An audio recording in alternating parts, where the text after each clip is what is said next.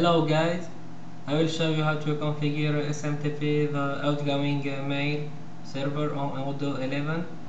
So go to setting and go to email and click on outgoing mail server and uh, create a new the name for example description uh, SMTP server.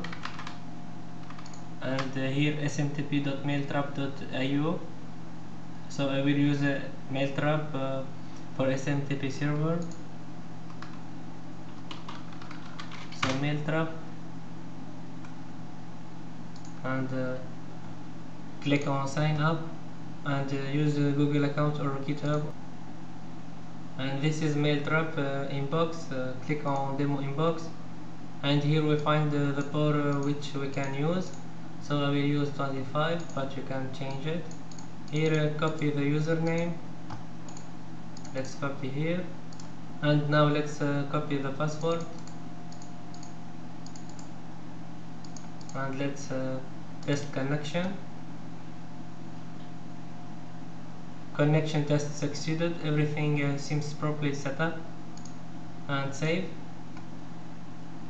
okay now let's uh, let's uh, try to to show how it works. So let's open a new private window and uh, I will uh, do an inscription. So I go to shop and buy uh, some product. Process checkout.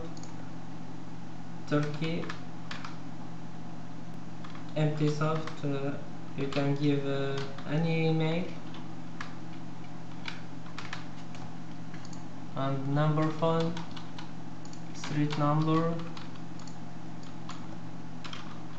Chicago.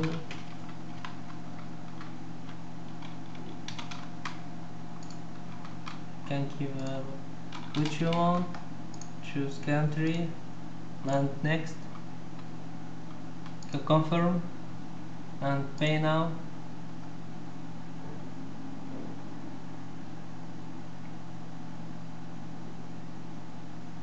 Waiting for uh, confirm order and now let's check uh, our SMTP our server. So here is uh, Turkey emptysoft em em uh, live.fr and this is uh, the, the mail which come from the outcoming uh, mail for uh, our Odoo 11 so this is, is how to configure SMTP uh, server on Odoo 11 thank you for watching and don't forget to subscribe to the channel. Goodbye